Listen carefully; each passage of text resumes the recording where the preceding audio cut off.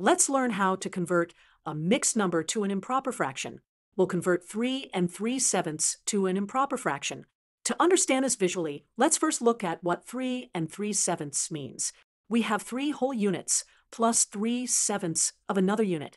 To convert this to an improper fraction, we need to find how many sevenths there are in total.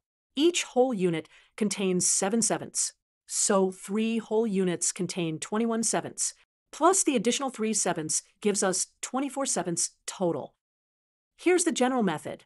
First, multiply the whole number by the denominator. That's 3 times 7, which is 21. Then add the numerator. 21 plus 3 equals 24. Keep the same denominator, 7. Let's verify this is correct.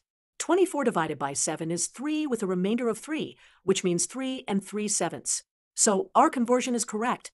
Remember, to convert a mixed number to an improper fraction, multiply the whole number by the denominator, add the numerator, and keep the same denominator.